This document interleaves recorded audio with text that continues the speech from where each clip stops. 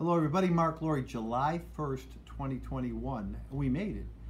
Thank you to everybody who helped us get through this school year. It was unprecedented. It was sometimes difficult, sometimes confusing, but with a great deal of support from a great staff of teachers, non instructional support, nurses, administrators, everyone, Board of Education, students, first of all, parents, and the community.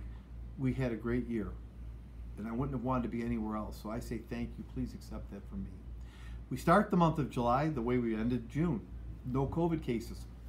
In the last month, we've been at just two cases in a month. Uh, the trend is downward. Keep up the good health practices.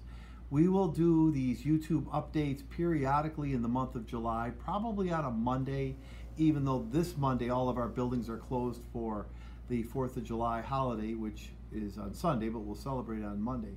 And we'll update you for the week, and I'll give you quite a few updates today. And then in August, uh, when schools are starting to gear up, transition camps, open houses, and the start of the July, uh, the September 7th, first day back, five days a week, all hours comes, we'll give you a lot of information. So thanks for your uh, listening. Stay tuned, more to come. For today, if you are over 16 and are looking for a summer job, call the Boys and Girls Club, 282-7181. Uh, they will be there. You can be, work if you're over 16. The hours are 11.30 to 3.30. They are from July 12th to August 12th.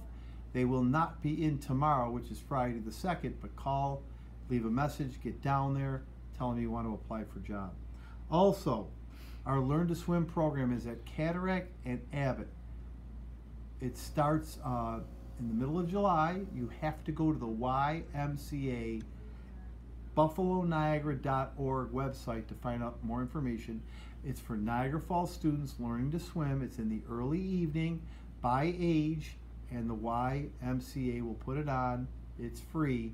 There's still a few spots remaining, as are for our summer recreation camp, sports camp, culinary camp, esports camp if you're in 11th and 12th grade, uh, dance, all those good things. That closes on July 5th, which is next Monday. Go to the website, fill an application in, put it in. Transportation may take a couple days to set up, so please be patient if you're signing up now. Pre-K applications have been coming in steady. Tomorrow's the deadline.